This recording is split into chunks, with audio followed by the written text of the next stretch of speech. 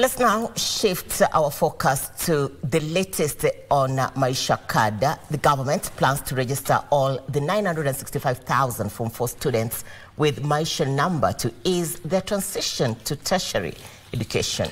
Appearing before the National Assembly Education Committee, Immigration Principal Secretary Professor Julius Bitok says that the strategy is to ensure when students get to 18 years that they are facilitated to get the cards which will then be integrated with relevant government agencies. He also informed the committee the ministry has enhanced the issuance of identification documents and reduced the period for production to less than 10 days. Here's that report now.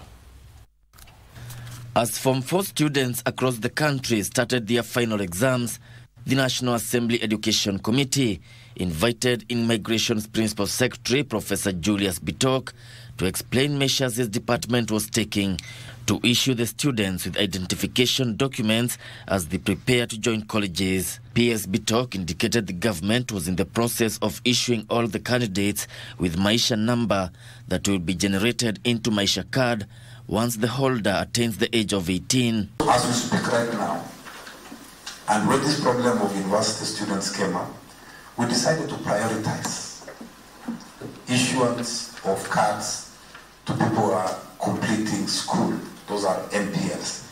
The new version of identification document known as Maisha Card contains biometrics of the holder in a chip that is integrated with other databases of the entire government. The PS says new applicants will have to pay 300 shillings, while Kenyans seeking to replace old ID cards will pay 1,000 shillings. We no longer need to fill any forms. We no longer need to fill anything. You just go to Huduma Center for your, for your biometrics. You do it on your phone. You go to Huduma Center, and then, then you get your card within 10 days. Even for the frontier counties who initially felt that they were discriminated. Right now, without vetting them, they also get their IDs without any discrimination.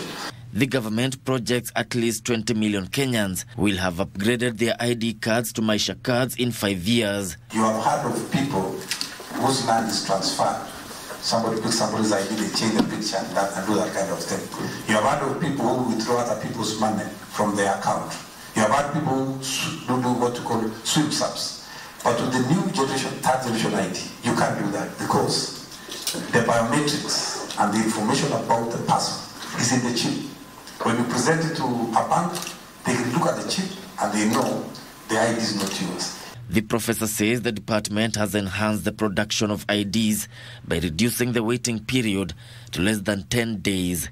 Ishoki Washira, Prime Edition.